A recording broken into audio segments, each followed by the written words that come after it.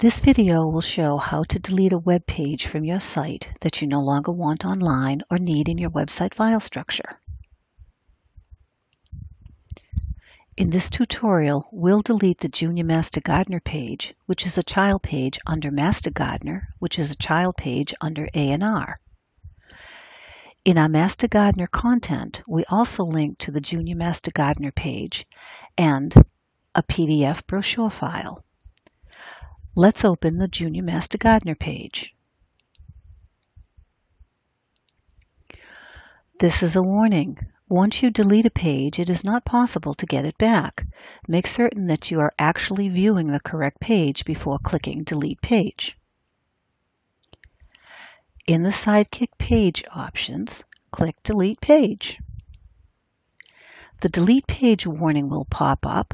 Click Yes.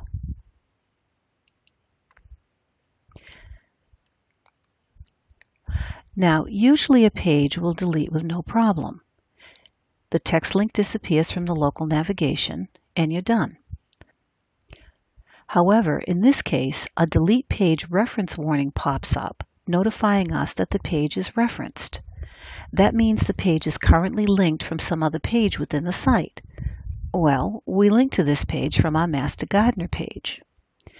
At this point, it's better to cancel the delete page and go find and remove those links. Otherwise, you'll have broken links on the referring page. However, if you choose to force delete the Junior Master Gardener page now by clicking Yes, you can.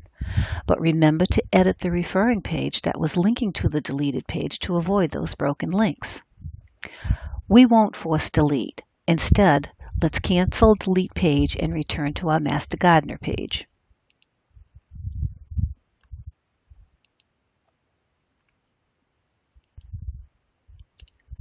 Here we see the link to the JMG website page, as well as a link to the JMG informational brochure.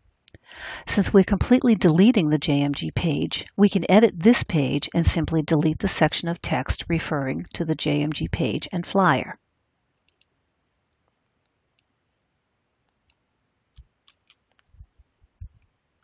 I'm going to click OK to save the changes. Now the reference is gone.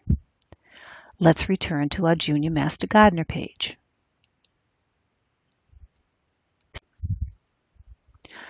Back on our JMG page, we can now click Delete Page again.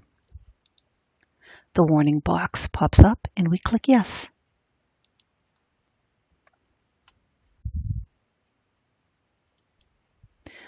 The Master Gardener page opens, and since we already removed the reference links from the MG page, the JMG page deletes without any problem. It is no longer listed in the local navigation, and we won't have broken links on the Master Gardener page. We've just deleted a child page, but please know that if a higher level or parent page, like our Master Gardener page, is deleted, then any child pages under that parent page will also be deleted. Now, on a related note, if on the deleted page you were linking to PDF files like a flyer or had added images to that page, it's a good idea to delete those files from your Content Finder to help keep it better organized.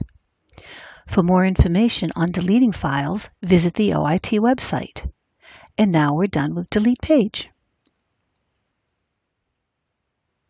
For any questions or further help with AEM, please email caesweb at uga.edu.